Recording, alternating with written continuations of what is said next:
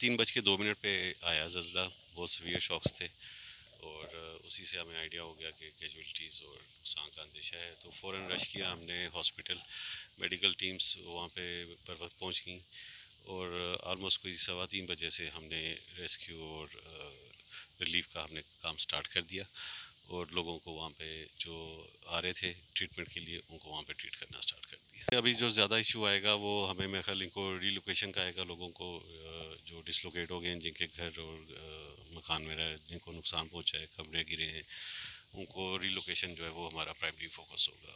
उनको उसमें उनके लिए टेंट्स और राशन और यूटेंसिल्स और डेली जो इस्तेमाल की चीज़ें वो हमें जी, ज़्यादा जो हमारे पास इंजर्ड आ रहे थे, उनमें बच्चों की तादाद काफ़ी ज़्यादा थी और चूँकि रात तीन बजे का टाइम था तो हर कोई तकरीबन नींद में था, गहरी नींद में था तो इस वजह से ज़्यादा थोड़ा नुकसान भी ज़्यादा हो।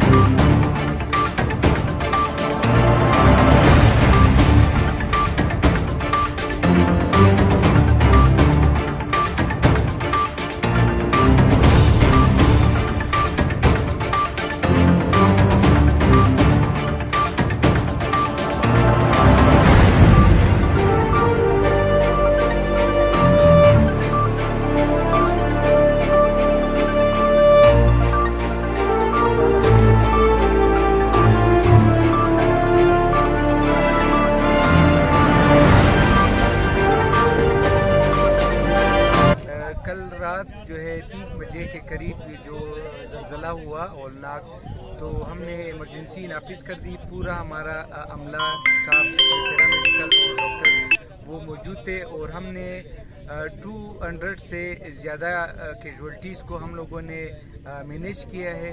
साथ साथ हमारे जो पंद्रह डेड बॉडीज़ है वो हमारे साथ रिपोर्ट हुई हैं। वो जो सीवियर इंजर्ड थे कुछ को तो हमने बाई रोड एंबुलेंस और कुछ प्राइवेट व्हीकल्स में भेज दिए।